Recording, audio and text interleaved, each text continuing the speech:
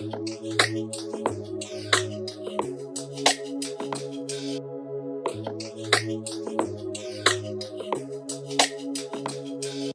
to transact however we like. Free to be in charge of our own life. Can't deny our inalienable rights. Drug war is a mind control fight. Free to transact however we like. Free to be in charge of our own life. Can't deny our inalienable rights. The drug war is a mind control fight. The anarchic consultant, down active and voting. We see through it up Ross You can't infringe cause we living on the fringe. Wanna binge or only do a smidge, it's your life to your live. So many zombies fight the drug war proudly against chemicals that are produced endogenously in the body. When they threaten and the people start to question, they use propaganda and aggression as their weapon just to make an example. Liberty has been trampled. Even still though, we on that Silk Road camel illegally. It seemed to me the whole thing was a case of the fruit of a poison tree. Drug deal and still sickness and terror. Third leading cause of death is medical error. The justice system made me say, fuck this system. I don't trust or listen to the huff they spit and half the police sniffing. We the people, the victims, they make buildings from enslavement prisons.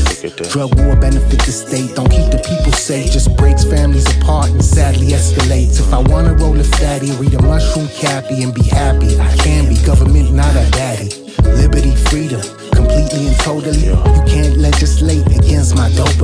marks and narcs Beyond on that malarkey, I spark tree and let the heart beat anarchy. Don't need them all up in my business or vicinity. It's my right to secure privacy and anonymity. How we transact, you can't decide for us. Shout out to Anonymous and the cypherpunks. All non-violent drug charges must receive. Ross Ulbricht must be set free. Free to transact however we like. Free to be in charge of our own life. Can't deny our inalienable rights. Drug war is a mind control fight.